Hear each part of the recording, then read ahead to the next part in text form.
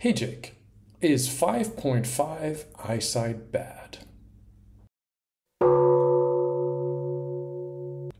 Welcome back. My name is Jake Steiner. I've been doing natural myopia control for the last 20 years, online for the last 10. I've helped tens of thousands of people improve their eyesight, reduce diopter dependence.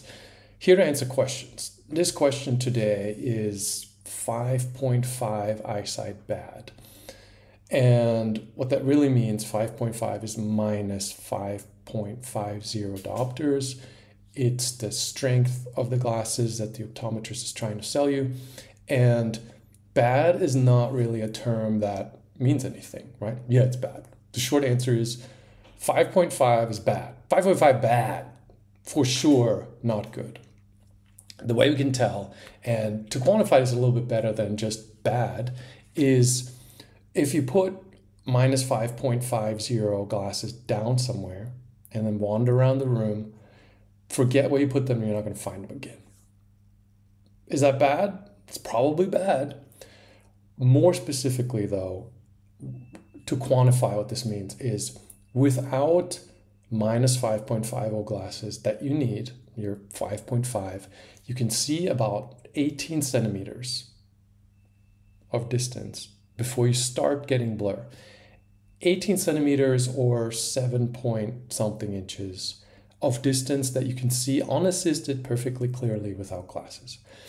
Bet the optometrist hasn't told you this because the optometrist doesn't usually explain anything other than you need these and they charge thousands of percent markup. Glasses, uh, just so you know, wholesale, the lenses, a pair of lenses cost two to five dollars. So whatever they're selling you at whatever the price is mostly all profit. 5.5, 18 centimeters, a little over seven inches that you can see clearly, right? Now, if you added four diopters, three diopters, you would just, instead of just seeing to seven inches, you'd see to eight inches, nine inches, 10 inches. So the way the diopter works is it increases the bubble that you can see clearly, right? So is it bad? It's bad. Is it fixable? Is a much more important question. And to answer that, short, short, short version is if you have a history of your glasses, if you know where your glasses started, they didn't start at minus 5.50. They didn't. Call me a wizard call me clairvoyant. They didn't start there. They started around minus one at some point, right? Less than minus two for almost everyone. Possibly less than minus one. Your myopia at that point, your nearsightedness was just too much close up. Screens now, books in olden times and I was still young caused that. Too much close up, your focusing muscle spasms while in close up mode. More videos on that. I'll try to link them below. The cause of that is just a muscle spasm. Instead of them telling you to fix the muscle spasm, which would make them absolutely zero dollars, they said, Here, here, got these clear glasses, right?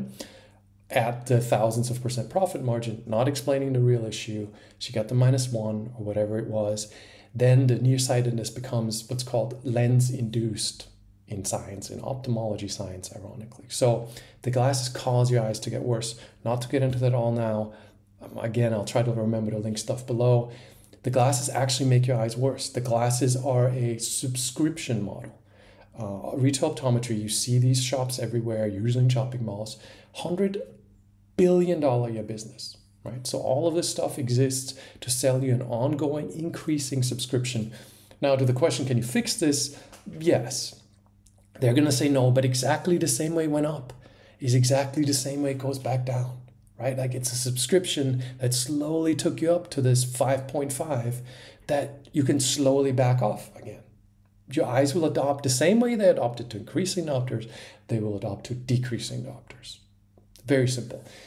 Not the point of this video. This video is just is 5.5 eyesight bad, Jake? Yes, it is. It's 18 centimeters, 7 inches bad. You can fix it, but you need to learn lots of stuff to do so. Hopefully helpful. See you in the next one. Meow, meow, meow, meow. Meow.